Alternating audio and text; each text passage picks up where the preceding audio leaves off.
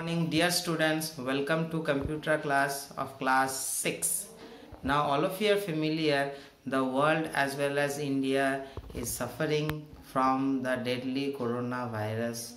Follow the safety measures so that you your family surroundings as well as the world as well as india is free from this virus. But we should not forget our studies whatever the explanation I am giving from chapter 1 make sure you note down all these important points in your computer copies. Note down the important topics. When the school reopens I will check the copies. Class 6 subject computer. Chapter 1 categories of computers and computer languages now all of you are familiar that all of you are familiar with the term computer. Now the computer which we are using nowadays the laptop desktop or the smartphone what we are using so there is a stages of development how these computers are developed. Now categories of computers. A computer can be classified on the basis of four major categories that are as follows. Based on generation based on type based on purpose based on size. Now we'll deal with the first one based on generation. Now generations are classified into five types. First generation computer second generation computers third generation computers fourth generation computers fifth generation computers. Now fifth first generation computers starting from 1940 to 1956 now in first generation computer that there was a main use of vacuum tubes. Vacuum tubes was the main component in the first generation computer. Next second generation computer starting from the year 1956 to 1963 the main component was transistor. Now because of this transistor the size of the computer became smaller less use of electricity and the less production of heat. Now again in the third generation computer starting from 1964 to 1971 the, it, the, main component used was integrated circuit. Now integrated circuit again further if we compare with the second generation the size got reduced more storage space and more and many more advantages.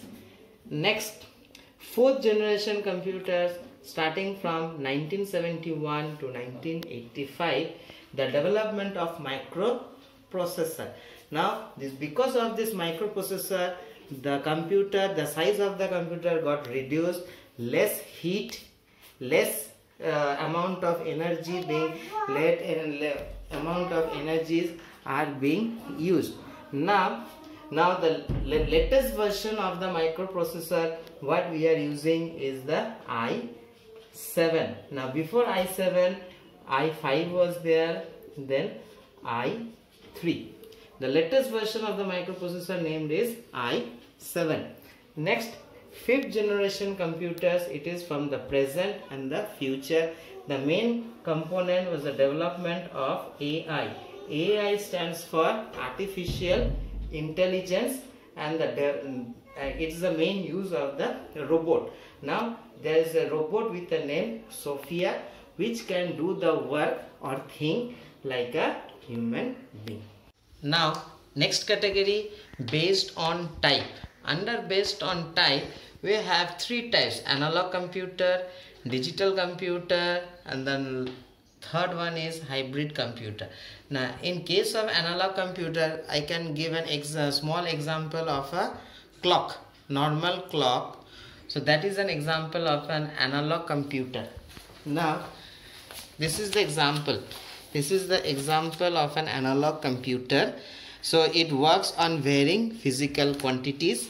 next is coming the digital computer i think all of you have seen these digital watches normal digital watches which are being used now which you get easily in the market for 100 rupees or 200 rupees or sometimes in the flipkart also you get all those so those digital ones are known as those digital watches comes under this category now this next one comes under the hybrid hybrid computer. If you see this watch this watch has both the features of first computer uh, first watch and the second one. So if you see nicely see the clock hands are also there and below also the digital readings are also there.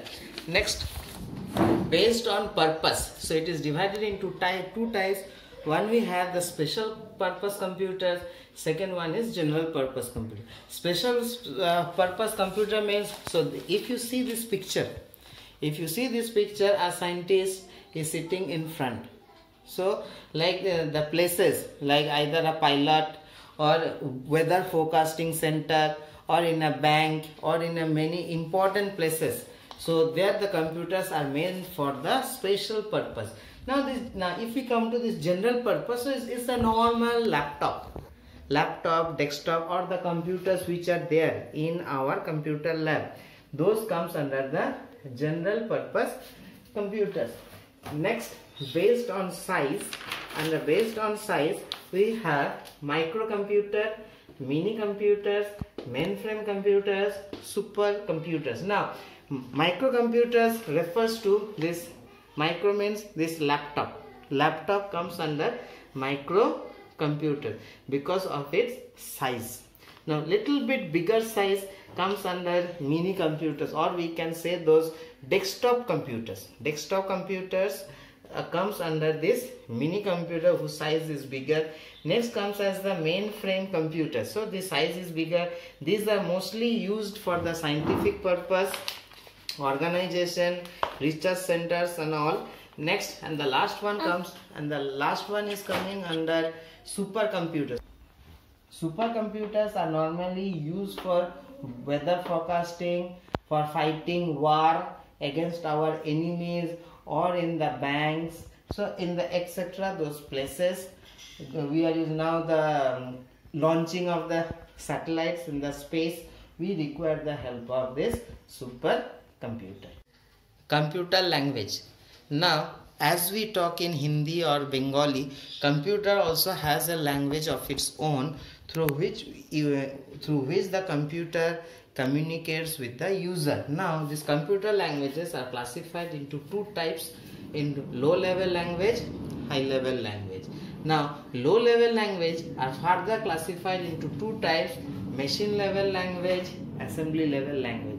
In machine level language, so it is written in the form of binary digits of 0 and 1 so the programming codes were written in form of 101010 which was very difficult to understand to store it for a future reference. Next type come as the assembly level. In case of assembly level there was a de development of mnemonics means certain codes were being developed. Like add stands for the addition of two numbers subtraction similar more words were there.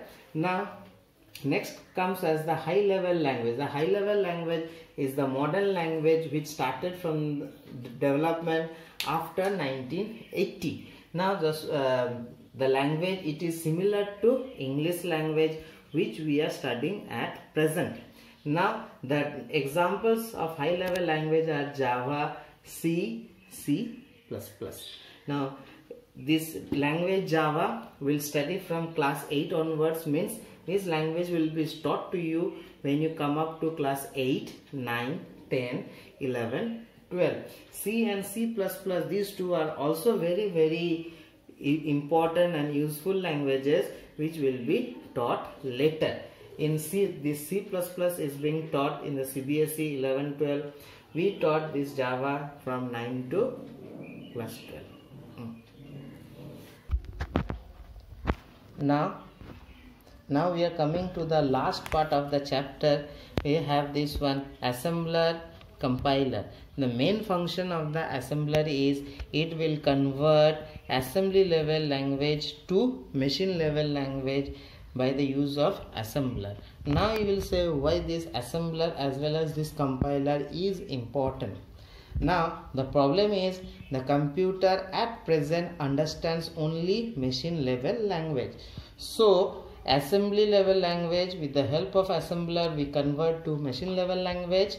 And in case of a high level language like suppose C, C++ we convert this high level language into machine level language with the help of compiler. And this di difference between difference between compiler and interpreter.